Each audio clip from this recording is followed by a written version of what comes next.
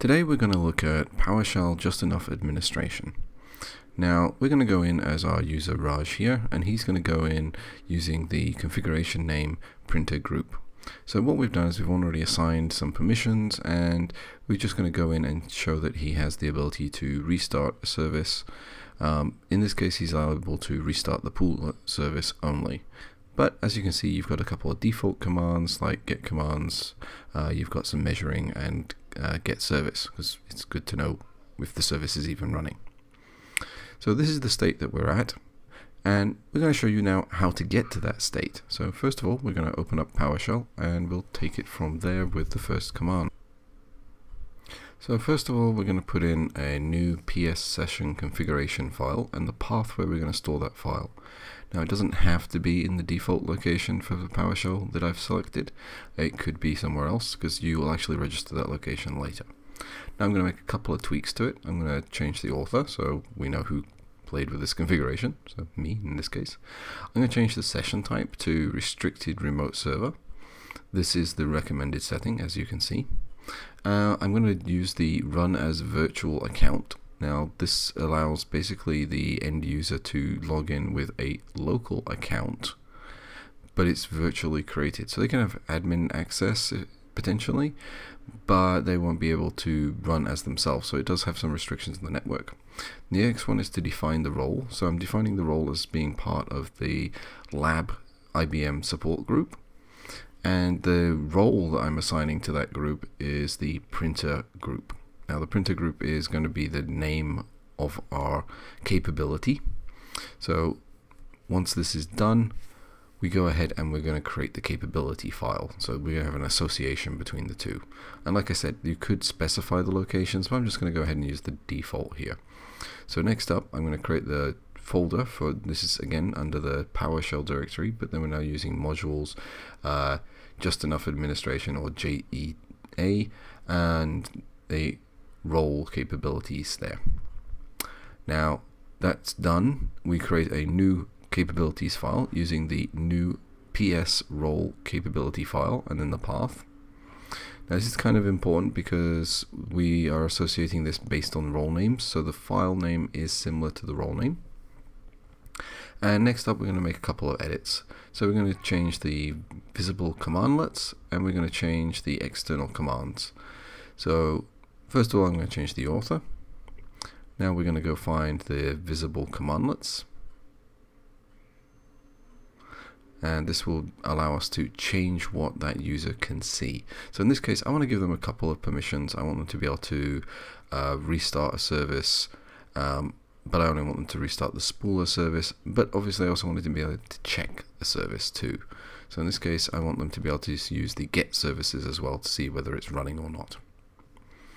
So here we have the get service and we have the spooler as the only valid option. Now, I'm also going to set the uh, visible external commands. Now this can be used for a lot of different things, but in this particular case I'm going to do it so that I can use the who am I command, which is potentially useful um, if you need to validate whether it's a permissions issue or something else. So that's now effectively saved and closed. Now we need to register this. So before we can go any further, we need to register our PS configuration file. So we register it, we give it the name of the configuration. So this is the association with our previous file. And then we have the file that we used at the beginning, the configuration file. So this is the only part where those two are alike. And you see our configuration file is now registered with our printer name. So just to make absolutely certain that this is live, I'm going to restart the WinRM.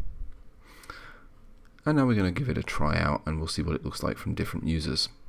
So first of all, let's look at it as Raj. Now Raj is part of our support group, so he should have access to uh, restart the printers. We also have Howard, who shouldn't, and we also have the admin for behavioral reasons.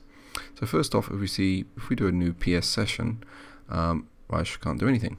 Why? because he's not an admin or any user on that server. But if Raj then specifies the configuration name, so in this case the group, that will check and see if that group has membership and if he's a member of, which he is, and therefore he now has access. So he can use that to now get access using the get commands and see what he's able to do. So in this case, we can see he has the ability to get a service, he has the ability to restart a service, and if he tries to restart a service that's not the spooler, because the spooler was the only one we listed as him being able to restart, he will not be able to restart it. So let's give it a try, shall we? So we'll do the get service. We get a normal output, totally fine. We didn't limit him there. On the other hand, if we go over and we log in as Howard, we see a very different behavior. So this is our user Howard. Again, he can't access the server by default. We'll set a configuration name. So we're going to go ahead and say, hey, let's use the printer group because that has configuration on the server, right? Well, he's not a member of the support group, so he isn't getting in. So now we've looked at it from the two behaviors, let's look at why this behavior is. So if we pop over to our Active Directory groups a moment, and we go have a look, we'll see that we have our two logins. We have Howard, we have Raj. And in Raj's case, he's a member of the IBM support group.